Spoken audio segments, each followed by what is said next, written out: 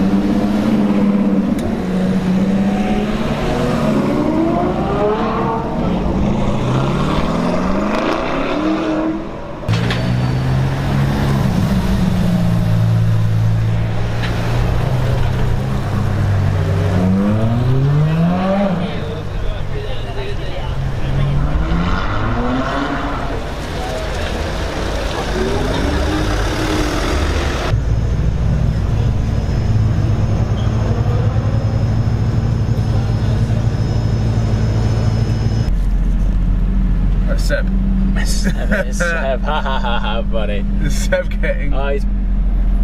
Miley Cyrus driving an Aventador. Suits him.